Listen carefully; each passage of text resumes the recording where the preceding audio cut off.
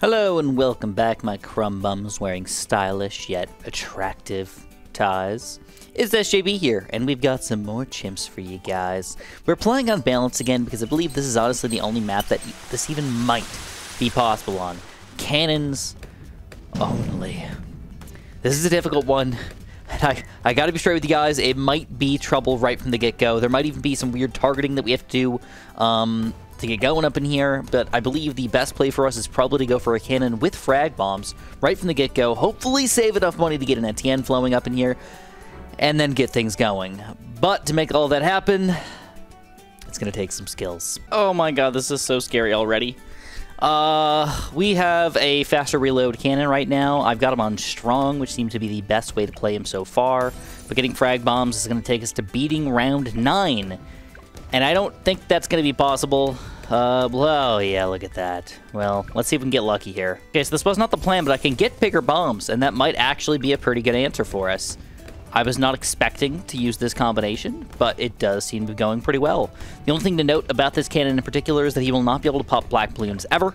The bottom path is the black balloon popper, and having him in the very middle definitely does hamper our situation a little bit, but I think at this point, instead of putting them on uh, strong, I can put them on close, and I can still upgrade them to other things like heavy bombs, missile launcher, randomness, even a big, big bombs, or whatever the heck the third path is. Um, all these are definitely reasonable things to get at this point. But still, at this point, I would love to get an Etienne flown in here because I think that would change the game in our favor quite a bit. So let's try and save up for that guy pretty quick. Hopefully pretty quick, because these rounds are only going to get more and more difficult here for us to survive. The faster the balloon, the worse off this cannon's going to be.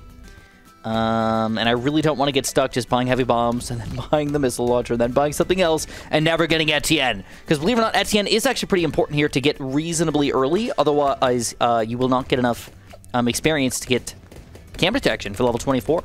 And then you just automatically lose. So I believe that we've made it in time. We only spent about uh, a little over a $1,000 here total. So things are going reasonably good. Now the good news is, is I feel much more comfortable against the quicker balloons, because this guy will hopefully just attack the first top layer, and then we got some good cleanup in here. Um, I also do know that I'm probably going to need some extra black popping power here, so instead of just going full-on high levels uh, for this cannon... Oh, crap, look at this. What? Gotta watch every single round, bro. This is, like, really annoying. One single red balloon. So we did try a couple different targetings there. I tried close and I tried strong. Um, weirdly enough, Strong is not doing very well at all right now. Uh, I don't like it at all. What the heck? I'm not sure I understand why that was so much worse, but it just was. Missile launcher cannon, not doing very well. It seems like it's missing way more now that it's a missile launcher, and it's not attacking close at all. Is it just automatic? What the heck is going on here? I don't like that. Not at all. All right, well, we're back to strong. No missile launcher, but I spent $11 in Etienne to get him up to level 3, and I might get the drone swarm in time to just kind of keep myself alive through round 15, which seems to be a major hurdle to leap over here. Uh, and yes, we do beat round 15. I believe that these future rounds won't be too bad, but I'm, I'm, a little scared to buy like any upgrades for this guy because if this is a broken missile launcher forever, specifically when I went up to third tier, fourth tier, and fifth tier, I'd be pretty upset about that. Um, but I do officially have heavy bombs. I do need to make sure that I have some black pop power in here, so instead of going all the way up to a really big bombs, I'm to start building a, another random cannon in here, and uh, hope this guy is to be the answer to most of our issues coming up uh, pretty soon.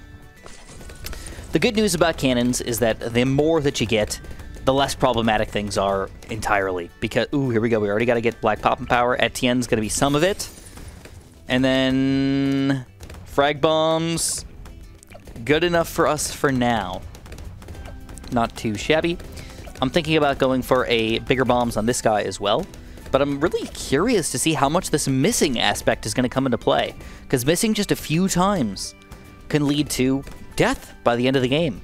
Luckily, rounds, you know, 95, 98, 99, all that stuff, it'll be very difficult to, like, miss balloons when there's gigantic chunks of BFBs and ceramics and everything just completely engulfing your area.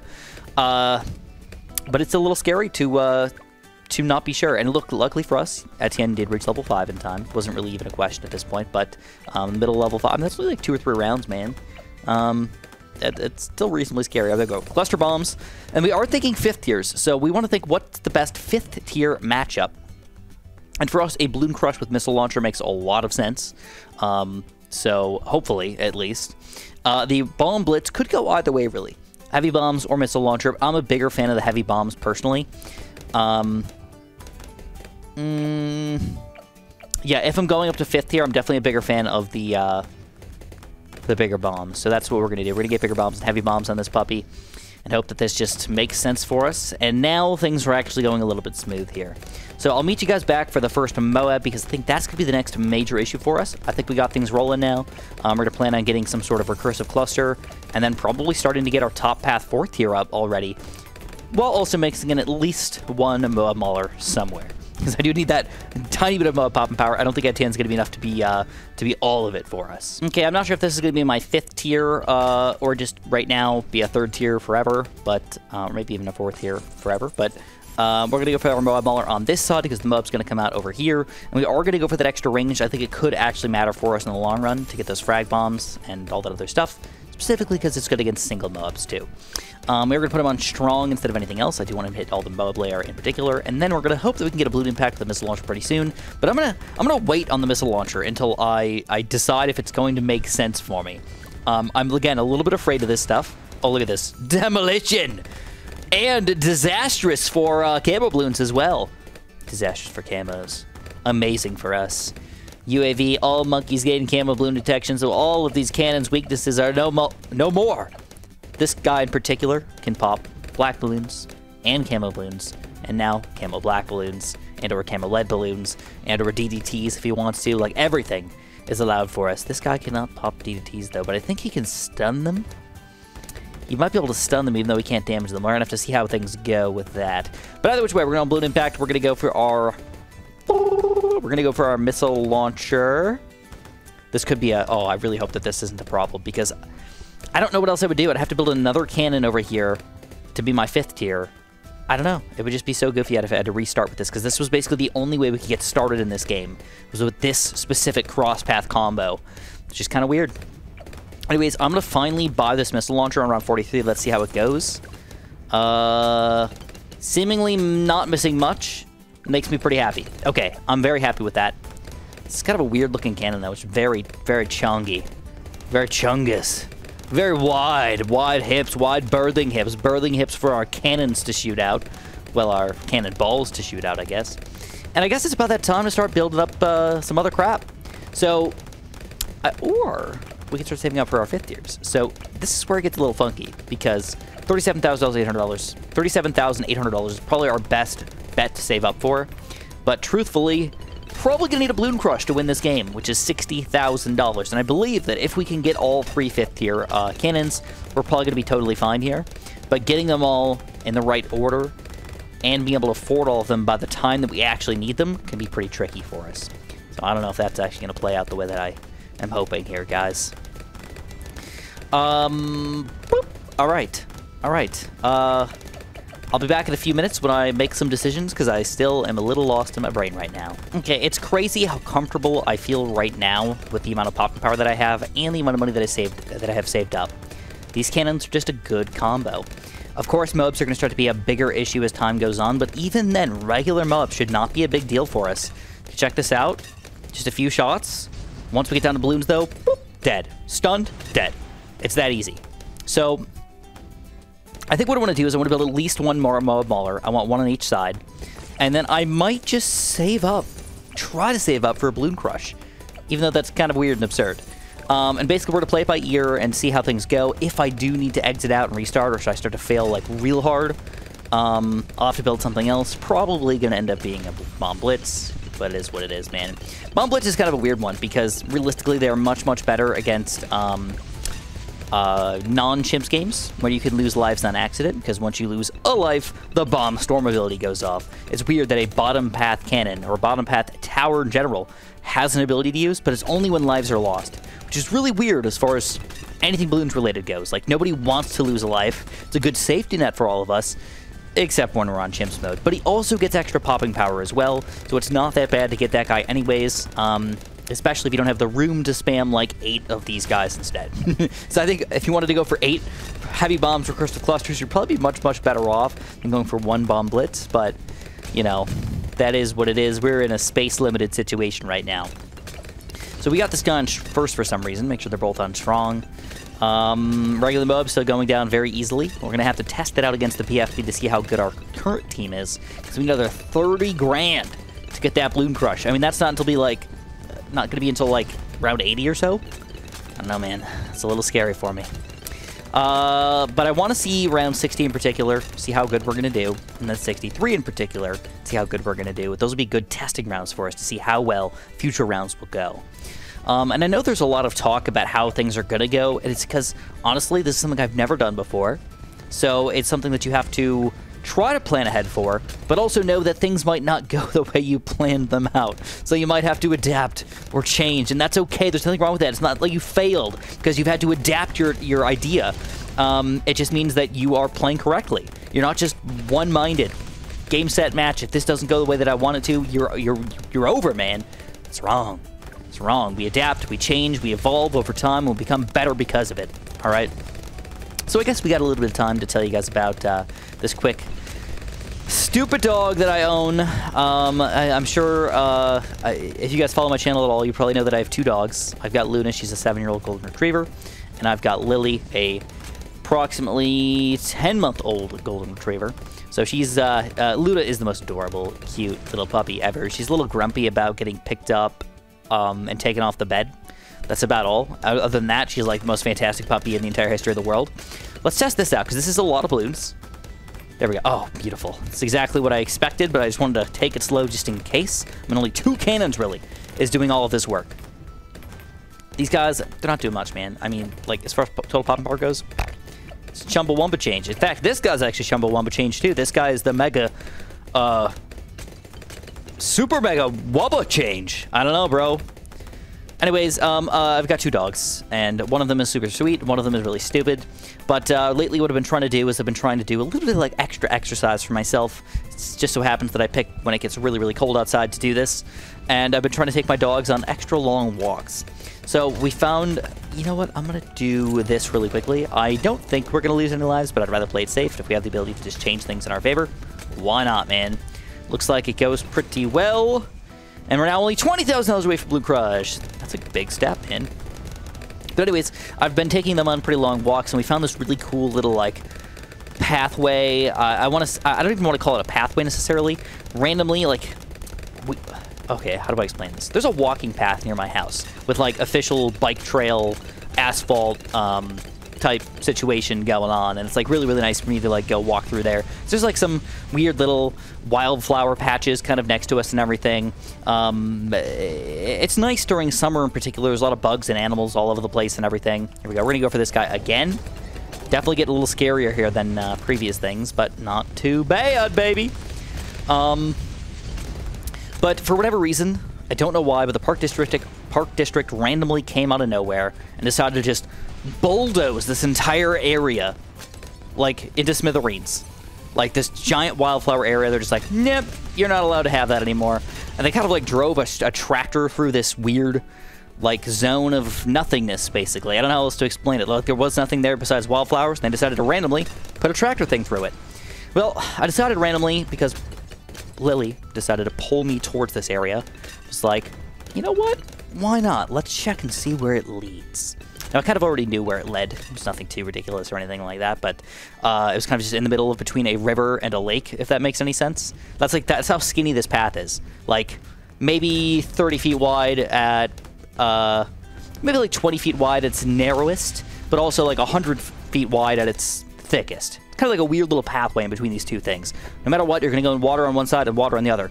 And I decided to take them through here, and there was this weird little pit uh, there was two of them, in fact, that specifically they must have dug. I don't know why they dug this thing. I don't know if it's going to be some sort of way to keep the land from eroding, to like linking up the river and the, the lake or something like that. I don't know. It truly doesn't make any sense to me. But it's this pit that's actually lower than the lake right next to it.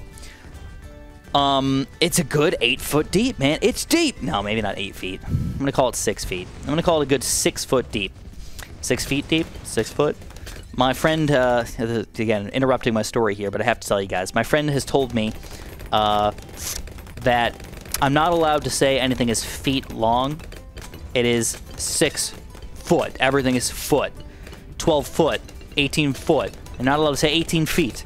All right, especially in his uh, building lingo, I guess, and he makes fun of me for it. So, is what it is. But uh, I still end up saying feet a lot when I probably should say foot, and it, it's a good mix. You know, I say good foot here and feet there. Sometimes it just makes sense in the way that you're saying things. But anyways, I, I interrupt and I uninterject myself by saying that there was this weird, maybe six foot deep, um, like mud area a little hole thing.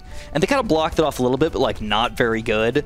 Um, but specifically, nobody's even supposed to come over here. So it like kind of makes sense that they didn't really go too hard on not getting this thing uh, all cleaned up or whatnot. But there was two of them too, randomly on like kind of kitty corner areas in between this little thingamajig. All right, we're getting into some weird areas right now. Uh, Moab's still kind of going down, but we're getting that money, man. I mean, I have to go for it. Bloon Crush, we are so close.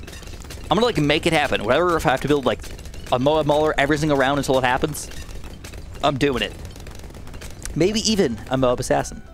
Seems kind of funky, but it could actually work for us.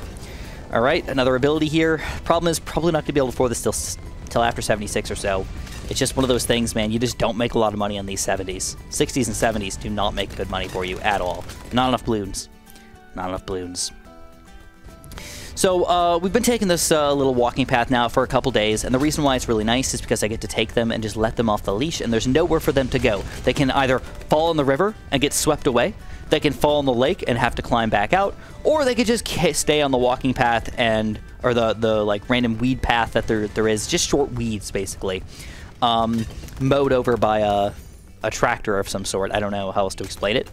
Um, but there's nowhere for them to really go, so I like let them off the leashes, and we kind of just run through this little area. They run through it, and I just kind of walk through this area, and it's been really, really fun. I gotta be straight with you guys. Letting the dogs off the leash and just want watching them like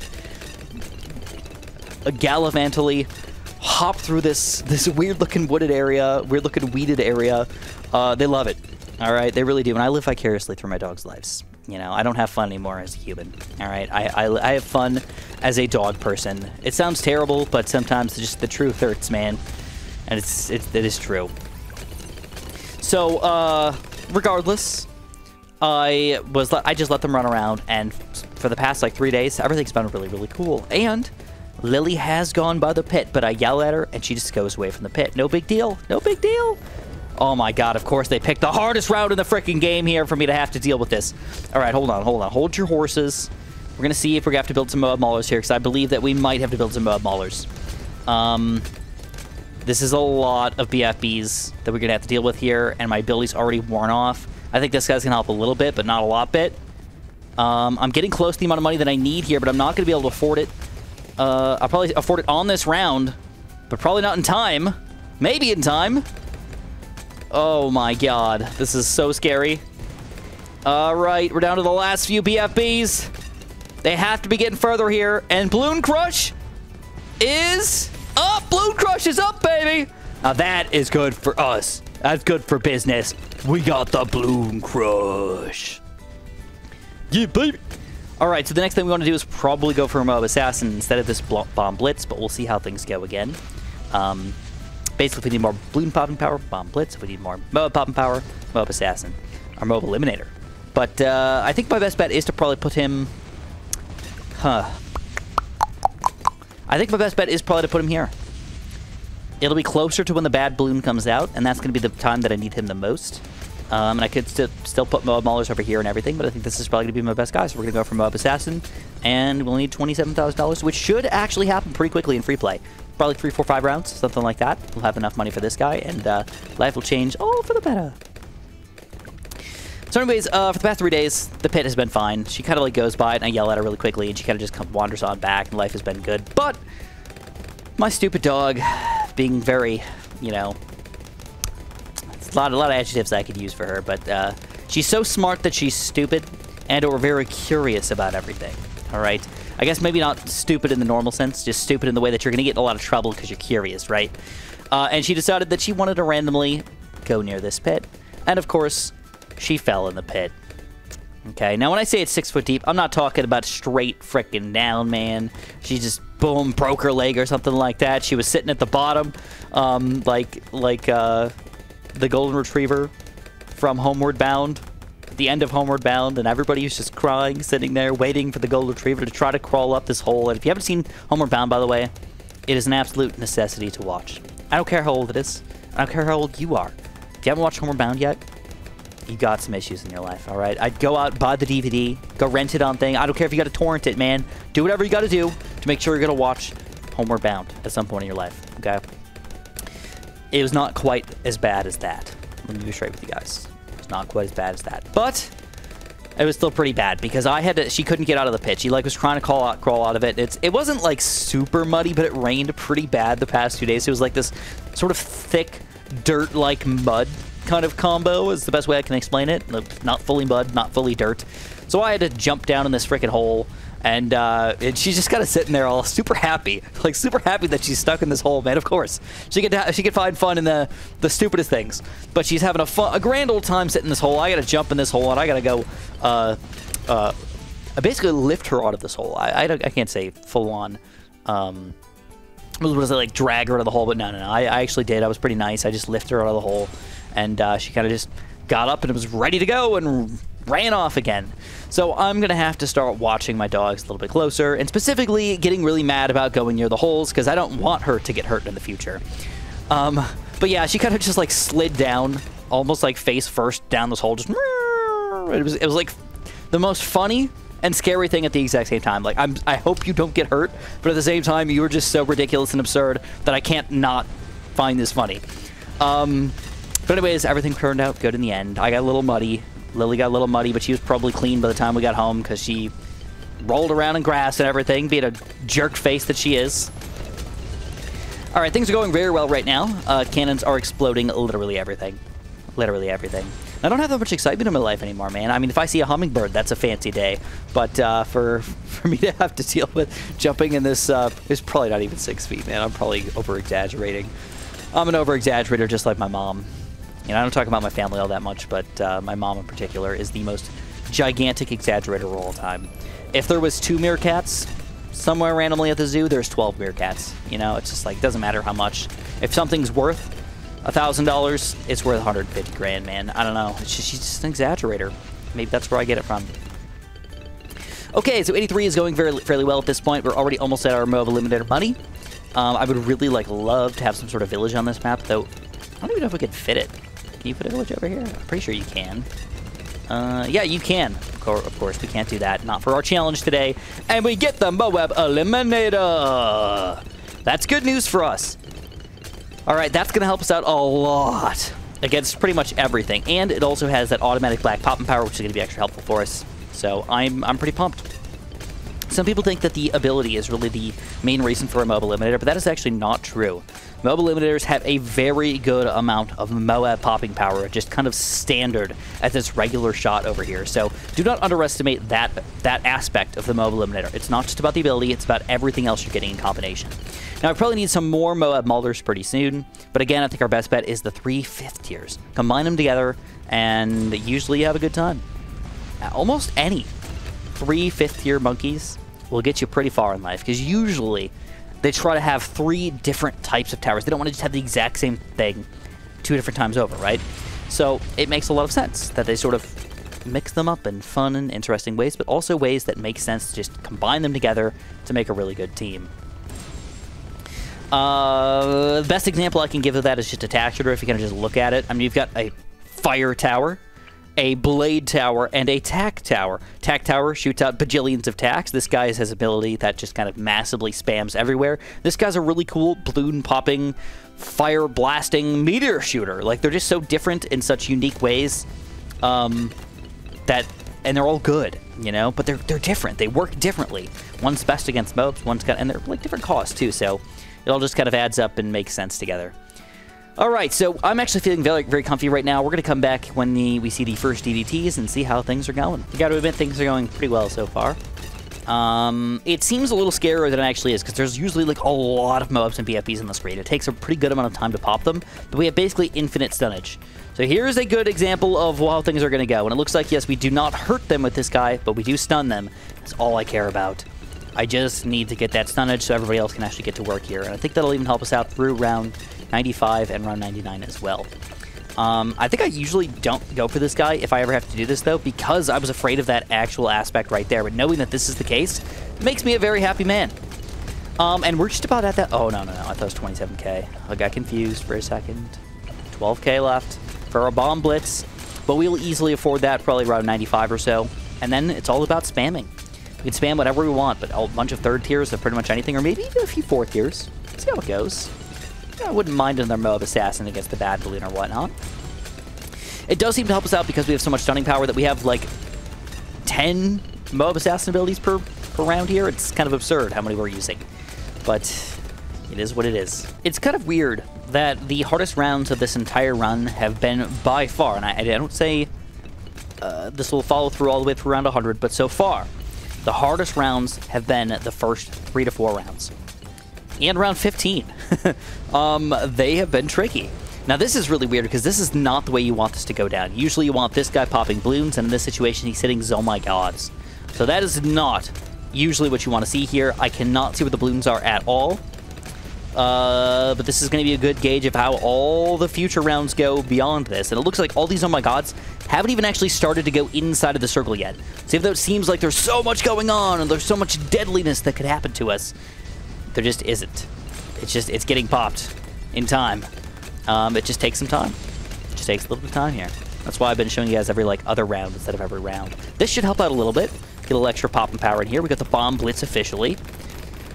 Oh, and we've got the UCAV level 20 full time, baby. Keep it going, Etienne. All right, let's look at this pop count. 72k, not bad. 200k for Etienne, 315k for this guy, 306 for this guy, 317. Wow, that's actually pretty cool. Uh, that we've got a 300, a 300, and a 300 so close together. No, I got them at different times and all that stuff, but still, really intriguing. All right, I'm just going to use this ability just to use it. I'm feeling pretty comfy about these guys, though. I don't feel like anything's sneaking through at all. Uh, yep, feels pretty comfy. And now we can decide what else we want to get. And I think, since Moabs are still kind of the major issue here, we're going to go for, uh, uh we're going to go for, mm, let's do it like this. Let's go for two cannons in the top corners here. I believe I could fit two more cannons somewhere else randomly down here or something like that. Usually you can fit towers there, but this guy might be a little too big. Um, looks like no, he's not too big. So we're going to go for, uh, it's a little difficult to tell what's going on there, but to go for a Moab Mauler kind of across the board here. Um, yeah, it's very difficult to see what the heck's going on, but it looks like our major cannon here is doing all the stunning power, doing the real work here, but more Moab Maulers. We're also going to get the frag bombs on those guys just because I want them. A little extra range doesn't hurt nobody. And then also having that uh, automatic black popping power is just nice. DDTs and everything, man. Definitely going to help out here. All right, um, that looks pretty good for that. And then believe it or not, this guy, I'm a little, like, tiny, tiny, tiny bit afraid of the balloons. So I don't think that a bottom path section help us out that much more for, like, balloon popping power itself. So I think I'm better off getting an extra stunner. Just in case this guy gets overwhelmed for some reason. I don't think that's going to happen, but I'd rather be safe. So we're going to go for another one of these guys, and of course another missile launcher. And I want to wait and get that bloon impact. Let's not forget about that. All right, things are going very well for 97. 98 is going to be the biggest balloon level in the game, so let's see how this is going to go. We're going to go for two fairly early abilities and probably use them multiple times. Um, it's going to be a slow going one, so why not, bro? Why not? All right, so again, looks very scary in the middle of the map right here, but mostly everything is getting stunned so much, I hope, that it doesn't really matter. We're going to go for an extra bloon impact to stop them uh, balloons from sneaking through here. This is absurd to watch, though. If for some reason we are not popping the balloons, I don't I don't know what else to do. Like we I think we just lose. like I don't I don't know how else I can micro through this or something like that. All right, another big ability coming out from us. Second time around already. Uh oh no, I lied. Not second time around. Hold on, I thought I pre pressed the wrong button. Wasn't ready yet. Wasn't ready yet. Oh, didn't matter. Woo! All right, we're gonna just use this ability anyways. I'm to get another uh, Moab Assassin combo uh, here to help out against the bad. Things are still getting stunned in the middle, which is exactly what you want to see. DDTs get taken down infinitely. Beautiful, beautiful. And then round 100. So Moab Elim plus two eliminators. And he's already like halfway dead. How do you top that? Cannons, bro! Cannons! FTW. All right, two more assassins, and that's got to be over, man. He can't survive this. And this is also without an Etienne ability. So, uh, surprisingly, balance, it's one of those maps, man, where if I'm really playing intermediate and I have to force myself to go intermediate, it really does open up, up a lot of different options for us. Uh, and I thought, honestly, if I failed on round 7 too many times in a row, I probably would not be able to go anywhere near round 100. But luckily, we got the beginning down, and that led to an easy victory all the way through. Don't forget, if you guys want to press that like button for me, that'd be much, much appreciated. Don't forget to subscribe if you haven't. And uh, the 205 cannon was the Monkey Star. Uh, kind of makes sense. Um, kind of makes sense, I think. 577, but everybody's close. 400k for this guy and 501 for this one. Etienne started to fall off a little bit, but still doing a pretty good amount of pops overall, man. Uh, that's cool. Thanks for watching, have a super duper delicious day.